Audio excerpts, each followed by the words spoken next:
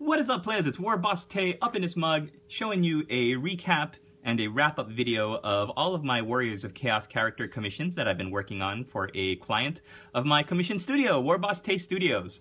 So here you see three Warriors of Chaos models, and uh, they're all character models. These two are in Finecast, uh, these two in the front, and Crom the Conqueror is in metal. And I am really pleased with the way they turned out all of them are on resin bases, pre-sculpted bases that you can buy uh, usually at your hobby store. If not, pre-made resin bases, actually, I don't remember any place in Hawaii that sells them. Most hobby stores in Hawaii just sell the, the games and the models. Before, there's, I think they're starting to bring in more product now, but when I got up here to California and I found all of these different companies at my hobby store that are selling pre-made bases like these, I think they're a great way to add some color and flair to your models if you don't want to do the uh, normal glue some sand and maybe add a couple clumps of grass to your bases. Definitely, I would suggest spending the couple extra dollars especially with your characters. You don't have to do it for everyone, especially if you've got a horde army. But yeah, just see how cool these guys are. If you if you even had like 20 other Chaos Warriors that didn't have bases like these, but were painted with black rims and uh, put some clump foliage and sand and paint them the same colors. I think that's a great way to unify your army and also give your characters a little bit of that flashiness and flourishiness that uh, Games Workshop models that the whole hobby is known for, you know, having really, really cool, evocative, and interesting looking miniatures on the tabletop. So I hope the client is very happy with these. I uh, spent a lot of time and work on them. They're done at a War Master level, which is the highest quality skill level that I can produce. And I'm going to be shipping them out to him this afternoon. So you got three three characters, like I said, and you would have already seen all three because I've done tutorials on them. There's your Chaos Exalted Lord. We've got a Wulfric the Wanderer here, the Flayed Man, and all of his different cloaks and skulls and trophies. And you've got Crom the Conqueror from the old Storm of Chaos campaign. And uh, unfortunately, I don't think you, I don't know if you can get him anymore. I don't think they gave him the transition over to Finecast. Or if they did, I'm, I'm not sure because I, I know they definitely did with the Chaos Exalted hero. But I'm very proud of my work, and I'm, I'm really pleased with how they came out. I hope you guys enjoyed following them as I painted them up.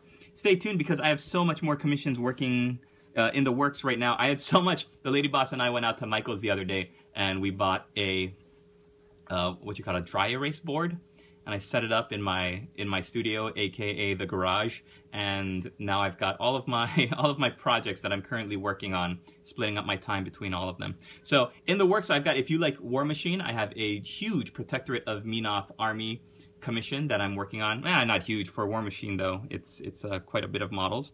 And I've also got a giant horde of those Bad Moon orcs that I'm slogging through, and the Dark Eldar Venoms that I'm uh, going to be practicing my airbrushing on, doing some cool ghost flames on those. I've Luckily, I've already got the crew painted.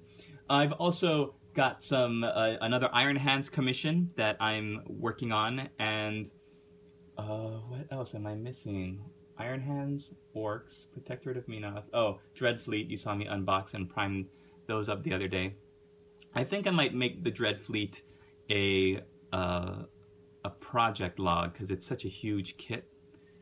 Anyways, I've got Tyranids, I've got alternate, alternate history, World War II figures, I've got Lord of the Rings stuff.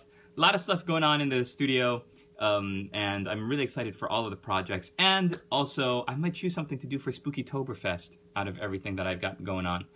Uh, I've also got in the works coming up, if you like alternate figures, I'm going to be doing a bunch of unboxings from stuff that I brought back from Hawaii this last summer when I, I had to fly home for a bit. I, I brought a whole bunch of other stuff back, and a lot of them are alternate range miniatures that I forgot I even had in my collection and um, I think those are going to be really, really fun to look at if you're looking for something else besides Games Workshop to use in your Warhammer or Warhammer 40k games.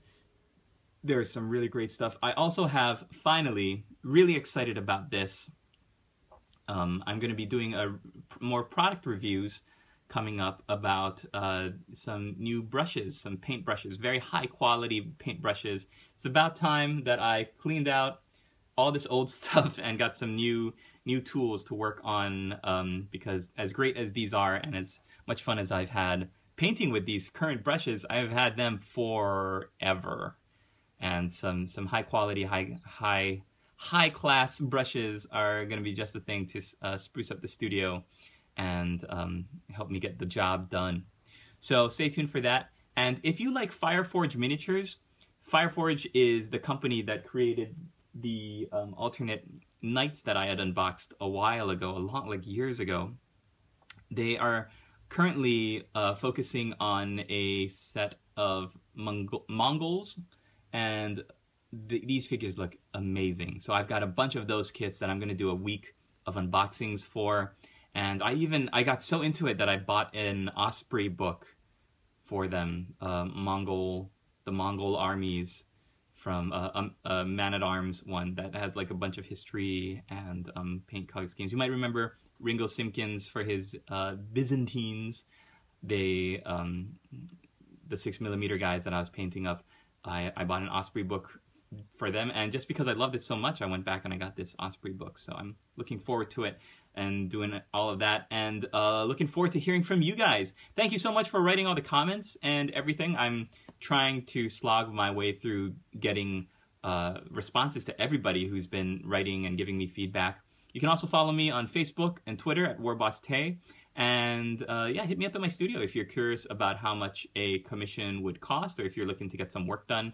As, I, as you can tell, I've kind of ran through everything that I'm working on. It's, it's a little busy at my studio at the minute, but uh, the lady boss says there is always room for more projects. You can always uh, commission more and uh, grow grow your skills as an artist and also get some money coming into the studio. So I'd love to hear from you. You can hit me up at warbosstaestudios at gmail.com if you want to send me an email, or just check out my website, warbosstaestudios.com. That's all one word, warbosstaestudios.com. Okay, the minute's running, uh, we're running at seven minutes right now. We're running a little bit long, so I'm going to wrap it up here.